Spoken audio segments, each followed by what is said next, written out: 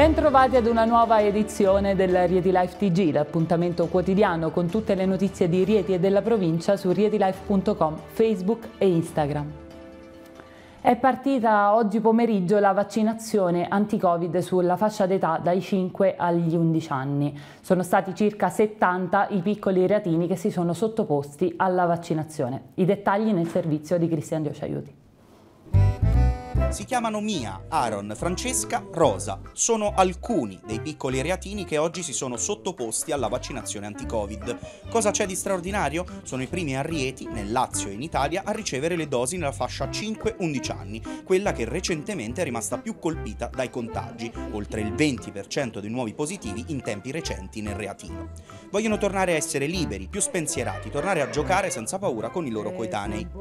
Alcuni sorridenti, alcuni timorosi non hanno fatto neanche in tempo ad accorgersi della punturina Pfizer. Con loro almeno un genitore, ma anche i clown dottori dell'associazione Rieti Cuore. E poi, nell'attesa e nell'osservazione, cartoni animati, dolcetti natalizi in un sacchetto e un diploma di coraggio.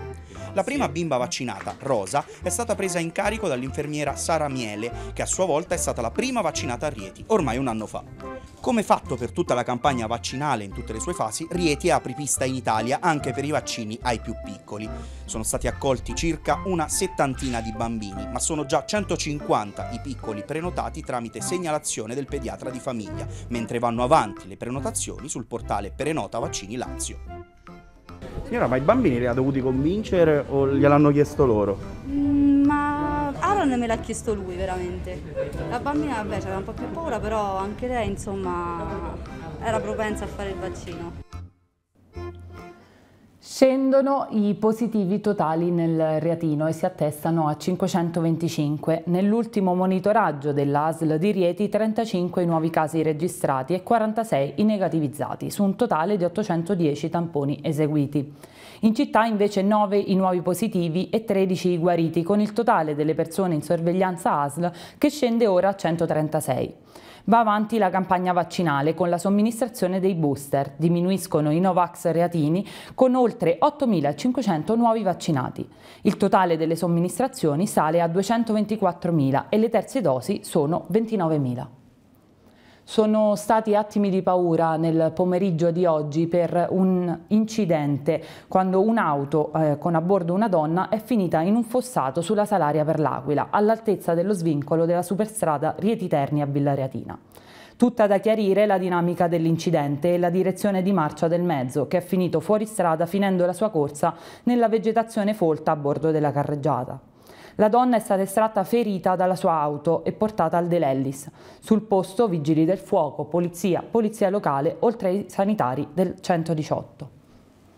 Alcuni vandali hanno danneggiato nella notte tra martedì e mercoledì il campo Giacomo Ramacoggi di Cantalice, danneggiati interni ed esterni del campo sportivo. Non è stato rubato nulla, ma i danni sono parecchi e ci costeranno molto, dicono dalla Polisportiva Cantalice, che ha denunciato il fatto ai carabinieri.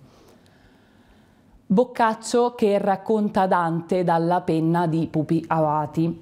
Presentato oggi pomeriggio alle Tre Porte in Via della Verdura il libro L'Alta Fantasia, edito da Solferino. Si tratta dell'ultima fatica letteraria del regista di tanti film famosi come Il Signor Diavolo e Gli Amici del Bar Margherita. Avati ha incontrato i lettori e parlato della sua opera, ambientata nella Ravenna del 1300. Firma copie, foto e selfie con il regista. Chiara Gherardi passerà dalla velocità pura ai 400 metri. L'annuncio dell'atleta che si allena a Rieti con addosso la maglia delle fiamme gialle arriva nella puntata di Nona Corsia, disponibile dalle 21 su rietilife.com, Facebook e Instagram. Allenata da Chiara Milardi, Gherardi si racconta nella trasmissione condotta da Cristian Diociaiuti. Ospite anche il tecnico degli ostacoli Daniele Focaccetti. Era questa l'ultima notizia del nostro telegiornale, l'appuntamento è domani alle 20.45 su rietilife.com, Facebook e Instagram. Buona serata.